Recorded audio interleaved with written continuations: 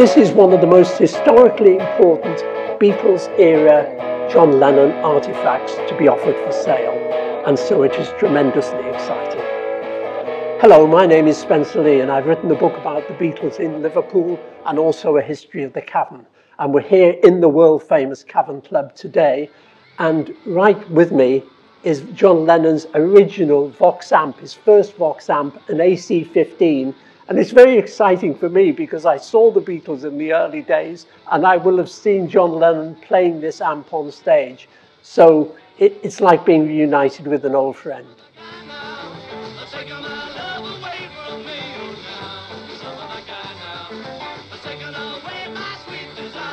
Though that this amp is exceptionally rare, it's a Vox AC15 Fawn twin, which means it's got two speakers in the back of it and it's got a serial number 4583, so we know quite specifically that this is John Lennon's Vox amp. This serial number is confirmed in Jim Elyea's book on Vox amplifiers and also on various online sites.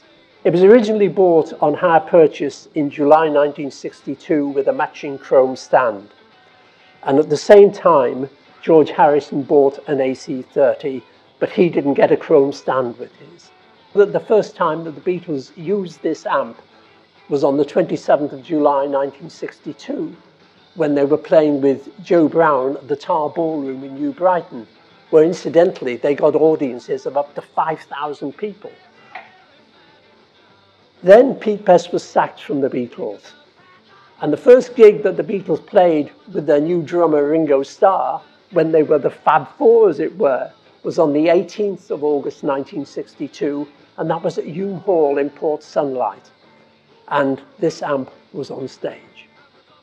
Although initially only thought to be used until early 1963, recent research shows that the Beatles' Fawn amplifiers were being used as late as November 1963 and possibly beyond. Notable later performances where these amps can be seen include March the 7th at Harrogate and November 1963 in Ireland. So if you saw the Beatles at that time, you will have seen this amplifier.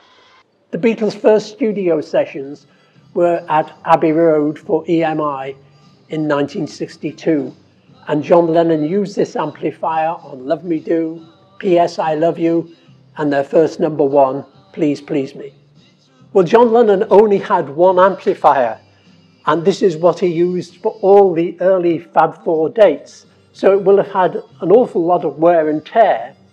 And they were playing pretty well five or six days a week. And so the amp was going from one place to another and it would be bashed around, but it was pretty sturdy. Fortunately, the amplifier is in full working condition and it sounds great.